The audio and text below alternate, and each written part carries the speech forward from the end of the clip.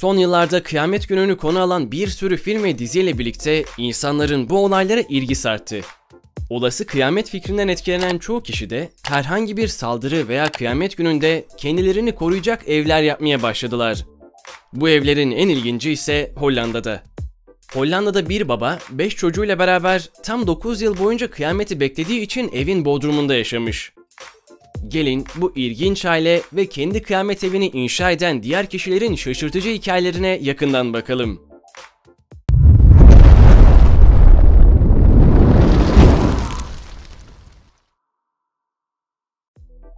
Hollanda'nın Drenthe bölgesindeki Ruinerwold köyü yakınlarındaki boş bir çiftlik 9 yıl önce Joseph B adlı bir kişi tarafından kiralanmış.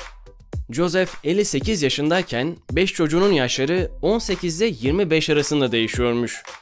Etrafı ormanla çevrili olan çiftliğin kiracısı Joseph B, çevre sakinleriyle pek fazla ilişkide bulunmamış. Hatta etraftakiler yıllarca Joseph B'nin köpeği ve keçisiyle beraber yaşadığını düşünmüşler. Ancak bir gece yaşanan olay Joseph B'nin yıllardır sakladığı büyük sırrı ortaya çıkarmış. Ruinerwold'daki bir mahalle kafesine gelen 20'li yaşlarının ortasında uzun saçlı, kirli sakallı ve eski kıyafetler içindeki bir kişi 9 yıldır ilk kez dışarı çıktığını söylemiş. 20 yaşındaki genç adam garip hareketler sergiliyormuş. Kafe çalışanına çiftlikten kaçtığını ve yardıma ihtiyacı olduğunu söyleyen genç adama yardım etmek için kafe çalışanı hemen polise haber vermiş.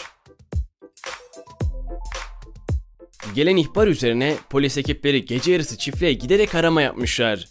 Oturma odasındaki bir dolabın arkasında bodrum katına inen gizli bir merdiven keşfeden polisler aşağıya indiklerinde büyük bir şaşkınlık yaşamışlar. Çünkü evin mahzeninde beyin kanaması sonucu felç geçiren bir babayla 4 yetişkin çocuk vardır.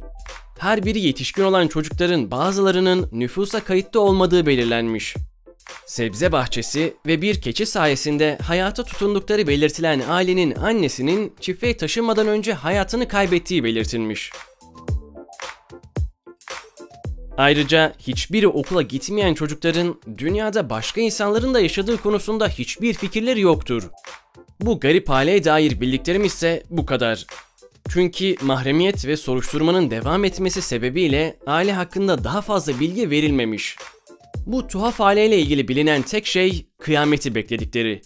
Yetkililer tarafından dış dünya ve insanlarla ilişkileri tamamen kesen ailenin dünyanın sonunu beklediği aktarılmış. Tıpkı bu aile gibi şimdiden kendini kıyamete hazırlayan kişilerin sayısı hiç de az değil. İşte o kişilerden biri de Bruce Beach adındaki adam. Bruce yıllarca Chicago'da yaşamış ancak 1970 yılından sonra Kanada'nın uzak kırsal bir bölgesi olan Hornings Mills'e taşınmış. Buradaki şehir hayatından uzak yaşamındaysa Bruce, Soğuk Savaş sırasında kullanılan nükleer silahlardan insanların sağ kurtulma şanslarının olup olmadığını araştırmaya başlamış. Böyle bir merakla işe başlayan Bruce, 1980 ve 1985 yılları arasında Kanada'da bulunan 42 eski okul otobüsünü 300 dolar karşılığında satın almış ve yerin 4,5 metre altını açtığı büyük çukurun içerisine gömmüş. Üzerini de betonla kaplamış.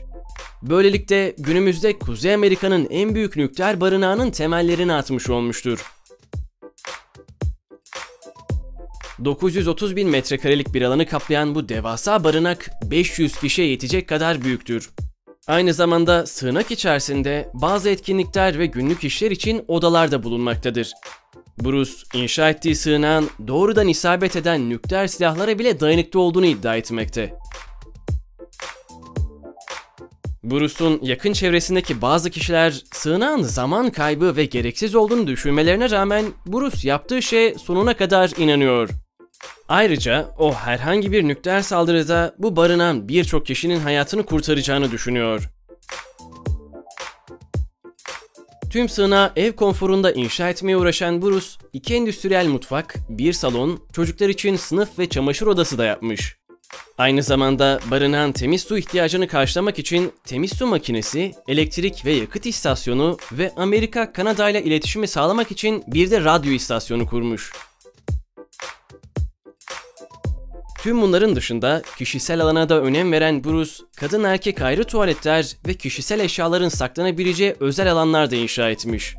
Ayrıca Ark 2'ya giriş yapmadan önce ziyaretçilerin hastalık ve radyasyondan arınmaları için bir temizlenme odası da yapmayı unutmamıştır.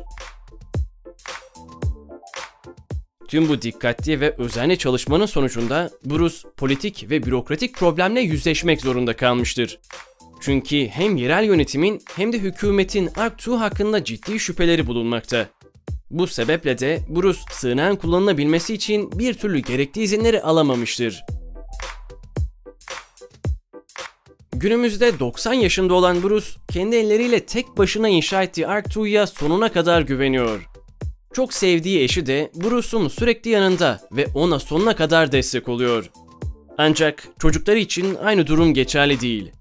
Onlar babalarının yıllardır dünyanın geleceği hakkında anlattıklarından sıkılmış ve bıkmışlar. Arctu'nun günümüzdeki durumuysa hiç de parlak değil. Bir türlü izinler alınamadığı için defalarca mühürlenen Arctu'da birçok yangın ve sel baskını gerçekleşmiş. Günümüzde ise maalesef Arctu fareler ve böcekler tarafından kullanılmakta. Dünyanın en ilginç yeraltı sığınaklarından bahsetmeye devam ediyoruz. Sırada dünya genelindeki felaketlerin tavan yapmasının ardından Amerika'da kıyamet günü için hazırlanan yeraltı sığınağı var. Yaklaşık 13 bin metrekarelik sığınak 950 kişiyi bir yıl boyunca barındırmak üzere 50 megatonluk patlamaya dayanacak şekilde tasarlanmış. Hali hazırda Nebraska eyaletinde yerin altında inşa ediliyor. Sığınağı inşa eden Kaliforniya merkezi şirket Vivos 5000 dolar depozito alıyor. Sığınakta bir yer garantilemenin maliyeti ise 25 bin doları bulmakta. Şirket başvuruların dünya genelinde yaşanan felaketlerin ardından %1000 arttığını söylüyor. Bu yeraltı sığınağında kişilerin tüm modern ihtiyaçlarını karşılayacak özellikler bulunuyor. Sığınakta özel suitler, bir tıp merkezi, diş tedavi merkezi, mutfaklar, evcil hayvan evleri, ibadethane, fırın, tamamen dolu şarap mahzeni ve hatta uygunsuz davranan sığınak sakinlerini hapsetmek üzere bir hapishane bulunuyor. Sığınakta ayrıca sakinlerin etraflarında ne olup bittiğini ve ortaya çıkmanın güvenli olup olmadığını görmelerini sağlayacak 106 metre yüksekliğinde bir gözetleme kulesi de yer almakta. Şirket ayrıca sığınakların nükleer terörizmden doğal bir afete kadar çeşitli felaketlere dayanacak şekilde tasarlandığını savunuyor. Kıyamet günü sığınaklarına rağbet son yıllarda arttı. Ama bazı kesimler bunları inşa eden şirketleri kamuoyundaki panik havasından faydalanmakta suçluyor. Peki siz bu konuda ne düşünüyorsunuz? 25 bin dolar verip kendinize Amerika'daki bu kıyamet sığınağından bir oda almak ister miydiniz?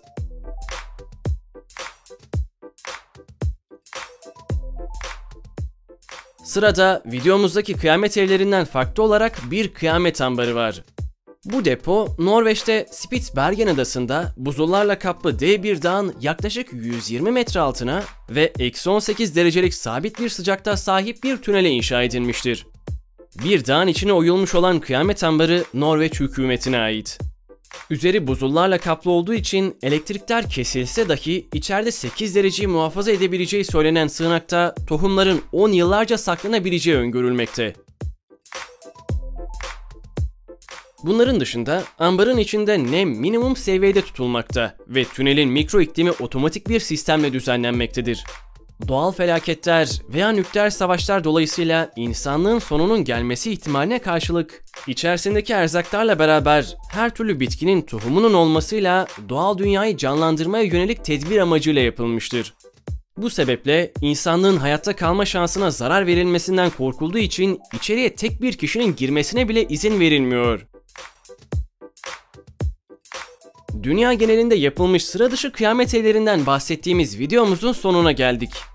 Peki siz kıyamet evleri hakkında ne düşünüyorsunuz? Ülkemizde de inşa edilmesi gerekiyor mu? Cevaplarınızı ve görüşlerinizi yorumlar kısmından bize yazmayı unutmayın.